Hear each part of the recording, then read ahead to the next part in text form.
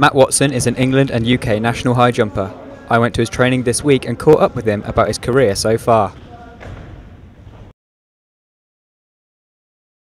Um, I was at college. Um, they basically introduced me to it through through me playing basketball, um, and they told me to go along to the to the college athletics championships or whatever it was called, um, and it just kind of went from there. I jumped in the first competition, um, won it with awful kind of technique and everything like that, and yeah, I went down to the local track because I was told I should maybe try it a little bit more than me just having to go at championships for college, um, and then it's just spiraled out of control since then. Um, it's just it's just been high jump. I've always had the option of being a triple jumper as well. Um, I do, well, in previous years I have been have been triple jumping all the all the way up to 2013, um, which I kind of specified just high jump sort of stuff. Um, but we always train um, in a triple jump manner as well as high jump because a lot of it's the same sort of training. Um, so I'm always fit to be able to triple jump.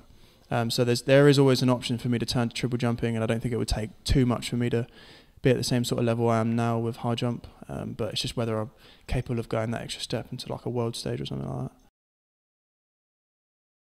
Um, Commonwealth Games. It's all headed towards Commonwealth Games next year uh, in Glasgow. Um, so every every single hour I spend training um, is headed towards Commonwealth Games. Um, there's there's a lot of competition, um, but I I'm in a top three or four bracket that I think I can get a spot. Um, I think I'm capable of getting a spot in, but you never know what people are going to bring out. So I've got to be got to be the the best shape I can possibly be in for them.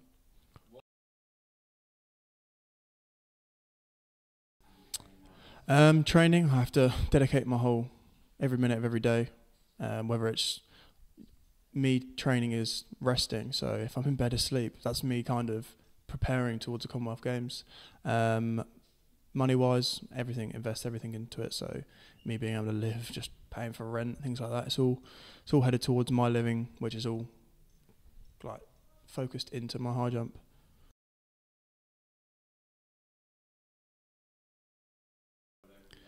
Um, I mean, I I have a local coach that I went to from the minute I started high jump, and I fell into a coach that's now an England coach. I mean, it's it's a pretty it just worked perfectly really. Um, there'll always be days where I'll go up and train with with other England coaches and GB coaches, um, purely for different set of eyes to watch me train, different input, things like that. It's always good to hear different things from different people, but it's uh, so yeah, it's already set up for me. Um, this is my England Athletics medal.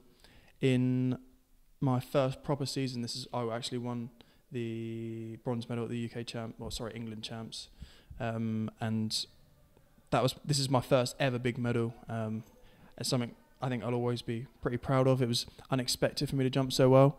Um, I knew I was kind of I knew I was getting into good shape, but I had no idea in comparison to how well I know my body now in comparison. Um, so this was a massive medal and a big surprise when I won it, and I kind of like whoa.